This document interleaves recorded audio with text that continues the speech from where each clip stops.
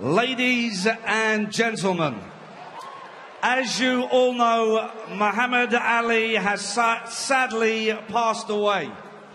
I think it's fair to say he was the most influential figure in boxing history, and he brought the sport to the masses around the world. Sports Illustrated and indeed the BBC Sport voted him Sporting Personality of the Century. And none of us, how can we ever forget the rumble in the jungle or the thriller in Manila? And of course, he was the undisputed heavyweight champion of the world. So please, can I ask you all to stand as we salute this legend with boxing's traditional 10 bell salute. Ladies and gentlemen, quite simply, the greatest, Muhammad Ali.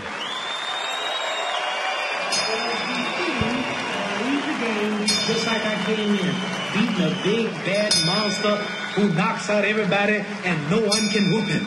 That's when that little Cassius Clay from Louisville, Kentucky came up and stopped Sonny Liston, the man who annihilated Floyd Patterson twice. He was going to kill me. He hit harder than George. His reach is longer than George. He's a better boxer than George. And I'm better now than I was when you saw that 22-year-old undeveloped kid running from Sonny Liston. I'm experienced now, professional. Jaw's been broke, been knocked, knocked down a couple times. Bad. Been chopping trees. I done something new for this fight. Out of wrestle with an alligator. That's right. I have wrestled with an alligator. I done tussled with a whale. I done handcuffed lightning, throw thunder in jail. That's bad.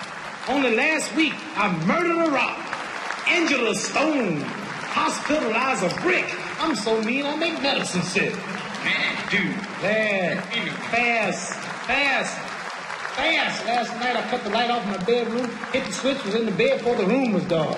Incredible. Fast you, George Foreman, all of you chumps are going to bow when I whoop him. All of you. I know you got him. I know you got him, Dick. But the man's in trouble. I'm going to show you how great I am.